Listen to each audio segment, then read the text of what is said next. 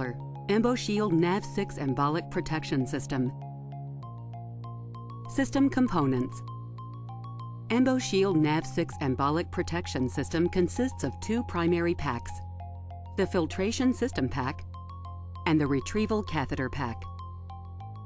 The Filtration System Pack contains one rapid exchange delivery catheter, one bare wire workhorse filter delivery wire that is preloaded on the delivery catheter, one torque device, one filtration element, one loading funnel, one introducer tool, and one syringe with white flushing tip.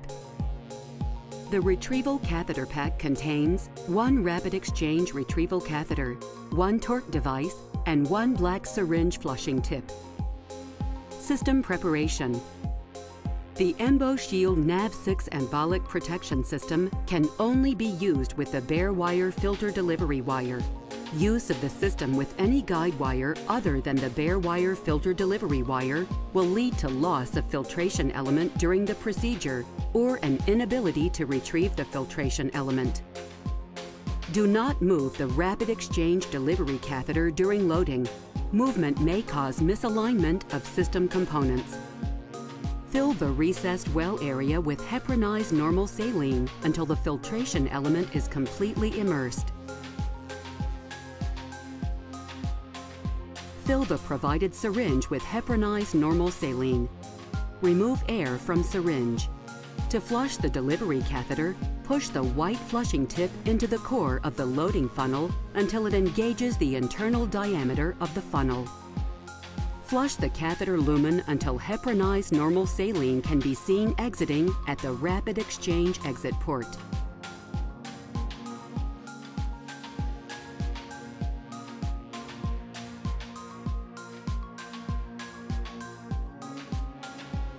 To remove any air bubbles from the filtration element, place the white flushing tip gently inside the filtration element and flush until all air bubbles are removed.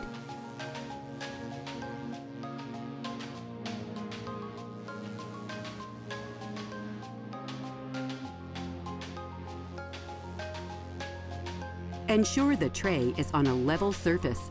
Hold the tray securely with one hand. Unclip the torque device Check that the torque device is securely tightened on the coating-free section of the bare wire. In a controlled manner, carefully pull the torque device to retract the bare wire. Observe the filtration element being retracted through the loading funnel into the delivery catheter pod. The filtration element is fully loaded when the distal marker band is at or inside the end of the delivery catheter pod and a definite stop is felt. Do not continue to retract the bare wire against significant resistance. Grip the black handle on the delivery catheter and the torque device out of the tray together. Gently pull them together to remove the loaded delivery catheter and the bare wire from the tray. Do not attempt to remove the delivery catheter or the bare wire individually. Using a sterile gauze pad, wipe the length of the bare wire with heparinized normal saline. The delivery catheter is now ready for use. Fill a standard syringe with heparinized normal saline. Remove the black syringe flushing tip from the tray and connect it to the syringe.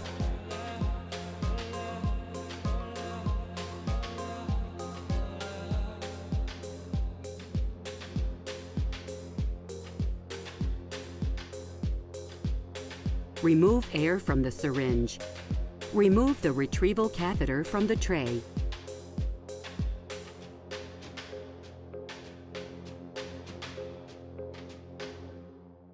Insert the black syringe flushing tip into the distal tip of the retrieval catheter.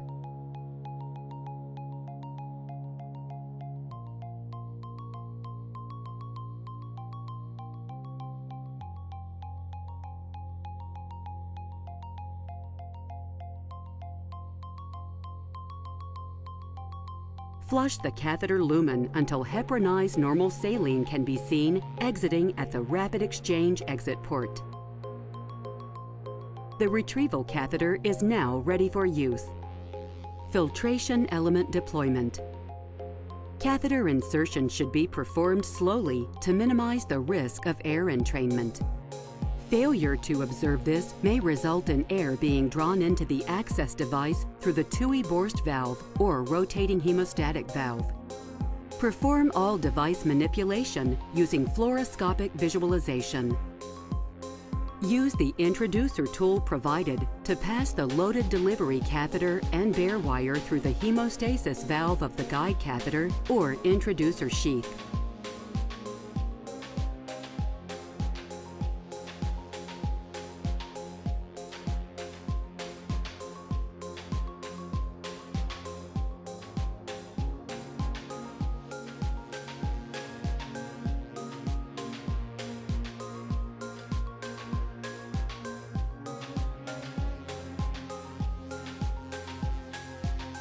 Notice the proximal indicator bands are positioned at 90 centimeters and 100 centimeters from the distal tip of the delivery catheter to aid catheter introduction. Advance the delivery catheter through the guide catheter or introducer sheath to a location proximal to the lesion. Advance the bare wire across the lesion.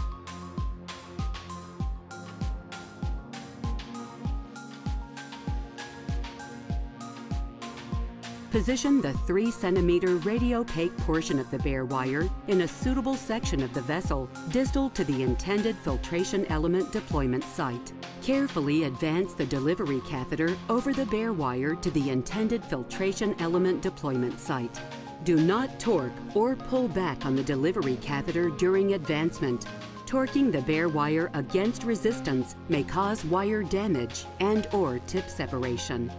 Before filtration element deployment, ensure there is adequate distance between the 0.019 inch step on the bare wire and the distal tip of the filtration element to avoid unnecessary contact during the procedure.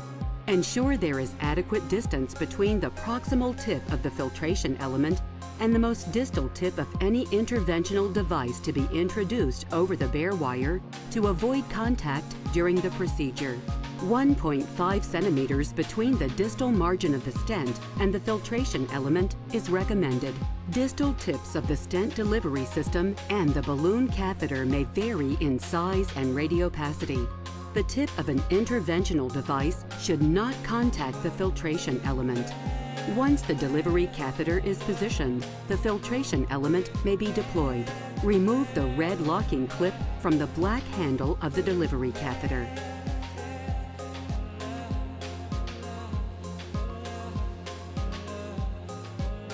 Hold the black handle steady and pull back on the white pull handle to deploy the filtration element.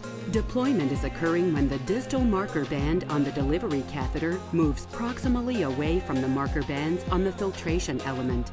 Verify the filtration element placement and assess perfusion.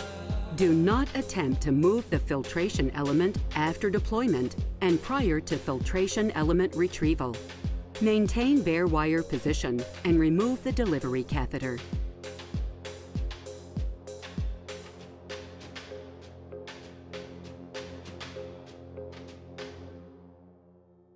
Notice the single distal indicator band is positioned 15 centimeters from the rapid exchange exit port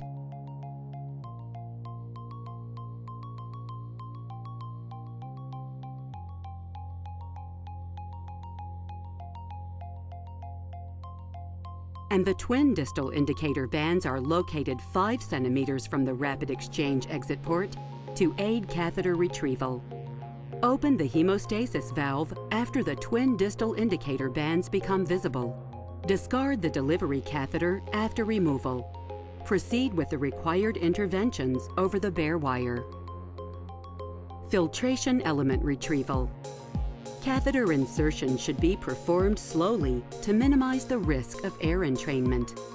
Failure to observe this may result in air being drawn into the access device through the Tuohy-Borst valve or rotating hemostatic valve. Perform all device manipulation using fluoroscopic visualization. Do not torque the retrieval catheter during advancement. Advance the retrieval catheter over the bare wire. Notice the indicator bands are positioned at 90 centimeters and 100 centimeters from the distal tip of the retrieval catheter to aid device introduction. Advance the retrieval catheter through the treated lesion until the radiopaque catheter tip contacts the proximal end of the filtration element.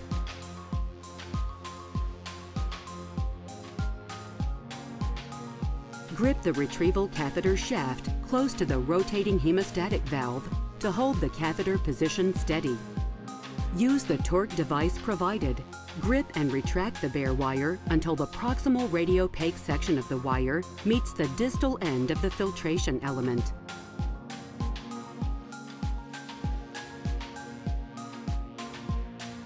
Continue to retract the bare wire until the filtration element is fully enclosed in the radiopaque expandable tip of the retrieval catheter.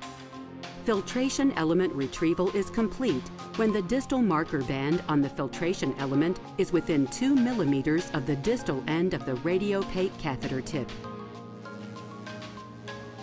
Do not continue to retract the bare wire against significant resistance. Retract the retrieval catheter over the bare wire or remove the retrieval catheter and the bare wire together as one unit. If significant resistance is felt, retract the guide catheter or sheath, the retrieval catheter, and the filtration element together. Notice the single distal indicator band is positioned 15 centimeters from the rapid exchange exit port and the twin distal indicator bands are located 5 centimeters from the rapid exchange exit port to aid catheter retrieval. Open the hemostasis valve after the twin distal indicator bands become visible. Discard the retrieval catheter after removal. Please refer to the instructions for use for complete information.